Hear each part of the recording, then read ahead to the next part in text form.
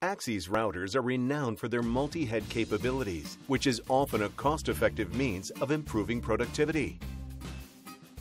For machines running with two or three routing spindles, efficient removal of dust and debris at all times can be a challenge. The AXYZ vacuum manifold is a unique device designed specifically to overcome this problem using a fully automated switching mechanism. Available with multiple inlet ports to suit the number of spindles you have, the manifold has just one outlet connected to your dust extraction system. This enables all of the suction to be directed at the currently active router for the best possible removal of waste.